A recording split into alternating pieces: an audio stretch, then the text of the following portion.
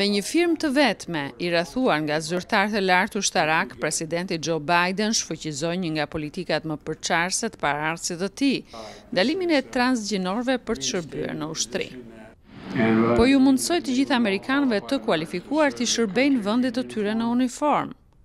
Në Twitter, Sekretari i Mbrojtjes, Lloyd Austin, e vlerësoi urdhrin duke e quajtur atë jo vetëm veprimin e duhur, por një lëvizje të zgjuar. Urdhri ekzekutiv i së hënës është hapi më i fundit i administratës së re për të ndihmuar ushtrinë amerikane të ndryshojë kursin, që kur Sekretari Austin mbërriti për herë të parë në Pentagon të premten e kaluar, duke mbajtur premtimin që bëri para ligjvënësve një javë më parë në seancën e tij të konfirmimit. E kemi për detyrë t'u sigurojmë njerëzve tanë një mjedis pune pa diskriminim, urrejtje dhe ngacmime. Nëse konfirmohem, unë do të luftoj fort për të eliminuar sulmet seksuale dhe për të hequr nga radhët tona ekstremistët dhe racistët. Sekretari Austin ka lëshuar tashmë një memorandum që kërkon marrjen e masave kundër sulmeve seksuale. Përparimi lidhur me problemin në rritje të ekstremizmit, që u dëshmua nga një numër i ish-anëtarëve ushtarakë që morën pjesë në sulmin e Kapitolit, mund të jetë më i vështirë.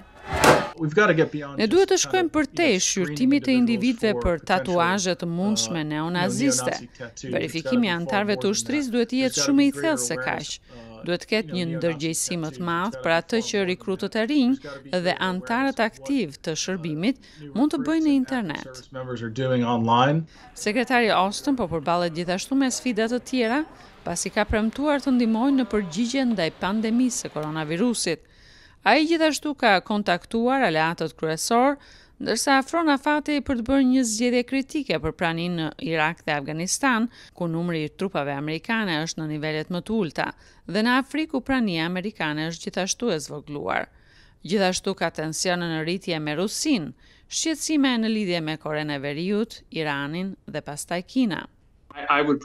Do ta vija Kinën në krye, e shoh Kinën si një kërcënim në rritje. Në disa raste dhe populli amerikan dhe miqtë tanë në botë duhet ta kuptojnë këtë, kinezët kanë sisteme që janë po aq të mira ose më të mira se tonat. Një listë e gjatë detyrash për sekretarin e ri të mbrojtjes të Shteteve të Bashkuara.